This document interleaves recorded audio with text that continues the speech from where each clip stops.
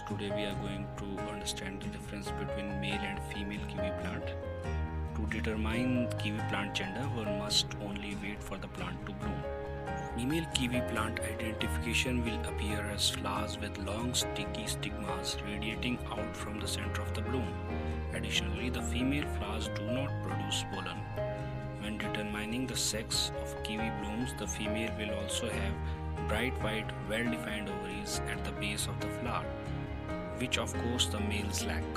The ovaries, by the way, are the part that develop into fruit. This was about female kiwi flowers. Now we are going to know about male kiwi flowers. In male kiwi flowers, you can see yellow center due to its pollen bearing anthers. You can clearly see the absence of ovaries in the male kiwi flower.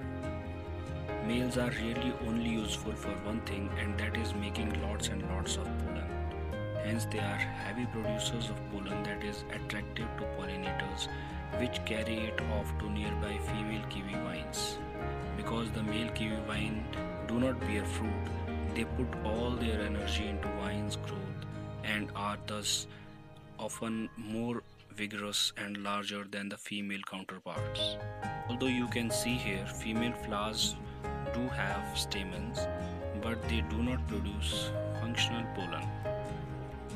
Means to say that pollens on a female plant are of no use. If you like this video, do give us a like and please subscribe for more educative videos in future. Keep supporting us. Thank you so much.